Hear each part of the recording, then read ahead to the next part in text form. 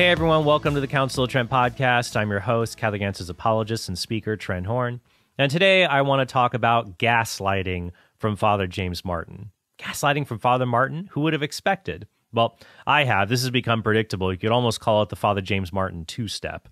But before I talk about that, I want to thank everyone who supported the podcast. If you're watching on YouTube, don't forget to click subscribe to help us to grow and check out new episodes when they come up. And if you're watching or listening, be sure to go to trenthornpodcast.com to become a premium member, you get access to our Catechism Study series, the New Testament Study series. That helps us to grow and reach more people. And I'm grateful to all of the support from our patrons there. So, today, let's talk about this tweet and then a follow up article that Father Martin wrote for Outreach, the LGBTQ Catholic magazine that he supports. So, back on January 21st, the Catholic League published this tweet. It was an article about the U.S. Secretary of Transportation, Pete Buttigieg, who is legally married to another man. Uh, Chasten is his name.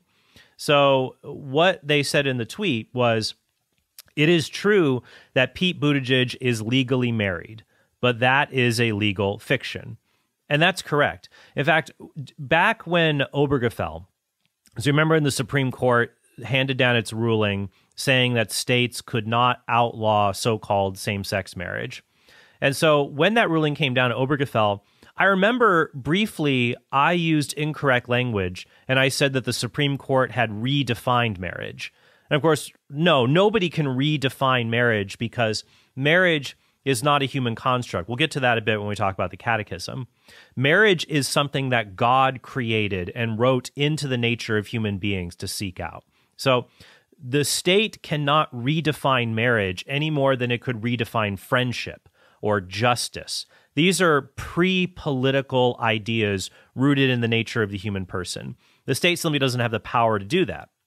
So I ended up changing my language and saying that the Supreme Court in Obergefell had legally redefined marriage. And that's correct. The, the court had legally redefined marriage and prevented states from uh, law passing laws that would prohibit the calling so-called same-sex marriage marriage. And so that's what the Catholic League is saying here. It's true that Pete Buttigieg is legally married, but that is a legal fiction. To which Father Martin decides to add this simple uh, four word quote tweet Pete Buttigieg is married, period. Now, what Father Martin does, the Father Martin two step, it goes like this He'll say something controversial that can be read in one of two ways. It can be read in an unorthodox or outright heretical way, or it could be read in an orthodox way if you really bend and contort very hard and add hidden assumptions. So he'll put out a simple statement people say, You're unorthodox, you're heretical. And then he'll come back and say, Geez, guys, why is everyone so mean to me? Obvious, I was saying the orthodox thing. How could you have misinterpreted me that way? Oh, geez, my critics sure are uncharitable, aren't they? Because that is what he goes on to say here in a follow up tweet the next day. So he said here on January 22nd, surprised this got so much attention. Like it or not, Pete Buttigieg is legally married. You may disagree with same sex marriage or not, but Secretary Pete is married in the eyes of the state and his church as much as anyone else's. To claim otherwise is to ignore reality. So, this is correct in that he is legally married in the eyes of the state and his church.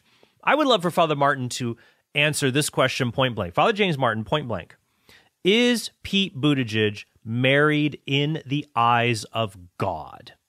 Is he married in the eyes of God to his partner, Chasten? The answer is no. But here's the thing you can be married in the eyes of God, in the, in the eyes of the church, even, uh, even if you're not Catholic. Because this kind of rhetoric, it feeds into the false idea there's only two kinds of marriage there's legal marriage and then there's Catholic marriage. And we think that there's legal marriage and other marriages and other religions, and then there's Catholic marriage. But it forgets no, no, no, no. There are two kinds of marriages there are good and natural marriages or valid marriages. Good and natural marriages exist between any time a husband and wife are married. Even if they live in different cultures, belong to different religions, they're married. This is raised to the level of a sacrament when you have uh, when you have baptized Christians involved. So also before I get into that though, notice that this is this is such gaslighting. That is not what he meant at all. Like guys, I was just saying he's legally married. It's obvious. If if Father Martin's only point was to say Pete Buttigieg is legally married, then he wouldn't have to say anything here. Because the Catholic League is not denying he's legally married. They say, look, it is true that Pete Buttigieg is legally married, but that is a legal fiction.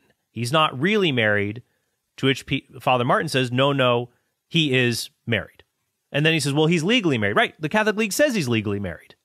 So you're just being redundant. If you say what you mean by married here is legally married, you're being redundant. There's no need for you to comment on this. You're just further confusing people, which is something that you're that you're good at. What's so funny is that I can see Father Martin adopting this kind of argument in another context. So, what do we mean by a legal fiction? A legal fiction is when the law proposes a reality that is not literally true, but it is helpful as a legal shorthand. A classic example of this would be corporations. So, corporations are legal persons. Corporations are persons. Amazon is a person. So, imagine if Father Martin uh, there was a court case, you know, involving Amazon and their free speech rights, and uh, and the courts say, well, Amazon is a person and they have the right to free speech to do X, Y, or Z. And Father Martin disapproved of what Amazon was doing, and I can see Father Martin saying it is true that Amazon is a legal person that has free speech rights as a corporation, distinct from the shareholders or the board of executives, but that is a legal fiction. I'm sure if you tried to give rights to Amazon as a legal person, Father Martin would quickly say, Yeah, it's a legal person, but not a real person. Don't treat Amazon like a person. Amazon doesn't have the dignity of a person. It's a legal fiction. I'm sure Father Martin would say that in that legal fiction, but that is what is the case with so called same sex marriages. They are called marriages in the law, but that is a legal fiction. Other marriages, see, the law created same sex marriages. The law recognizes natural marriages. The government does not create marriage. Marriage creates government. Society doesn't make marriage, marriage makes society. So when the state issues marriage licenses, it recognizes a natural reality that exists. It does not have the power to create marriage. And in fact, in denying marriage to people, it denies the natural rights they have as man and woman, what marriage is for. So then he goes on to later write this article. When was this? Another two days later, January 23rd, writes this article for Outreach. Like it or not, Pete Buttigieg is legally married. And so he goes and says, I tweeted what I thought was an innocuous, obvious tweet about an ungracious comment about the marriage of Pete Buttigieg, that it was a legal fiction. That the statement was self refuting didn't seem to bother anyone, but to me, it seemed like a gratuitous attempt to denigrate LGBTQ people. It's a gratuitous attempt to denigrate LGBTQ people by saying same sex couples are not actually married. If Father Martin really believes this, if he really believes this, then he has a big problem because in Amoris Laetitia, in paragraph 52 of Amoris Laetitia, Pope Francis would be a homophobe under Father Martin's uh, definition. Here's what it says in Amoris Laetitia. Let me bring this up here. So it says in, in section 52 we need to acknowledge the great variety of family situations that can offer a certain stability. But before that, it says there is a failure to realize that the that only the exclusive and indissoluble union between a man and a woman has a plenary role to play in a society as a stable commitment that bears fruit in new life. So, mar- only marriage can serve that foundational role. What is marriage? It is the exclusive and indissoluble union between a man and a woman. We need to acknowledge the great variety of family situations that can offer a certain stability, but de facto or same sex unions, for example, for example, may not simply be equated with marriage. No union that is temporary or closed the transmission of life can ensure the future of society. So it goes on to say, but it's very clear here when it talks about same same sex marriages or those that are not ordered towards indissolubility or unity. Uh, these so-called de facto marriages, mere you know mere cohabitation, things like that. But notice what it says for that same-sex unions may not simply be equated with marriage. Full stop. But Father Martin thinks, oh no, it, it is a kind of marriage. So, and then he goes on, and then here's the thing that he does. By the way, If you're online, don't be uncharitable Father Martin. All you do is give him ammunition. People were calling me apostate, false priest, serpent, uh, Satan, a wolf, uh, the F slur. He thrives on that. You're not helping. You're not helping at all by doing this because you're giving him exactly what he wants. For a brief moment, Father Martin was trending on Twitter, uh, which, given that it led people to homophobic comments, did not please me one iota. All right, so he goes on whether you like it, they're they're legally married.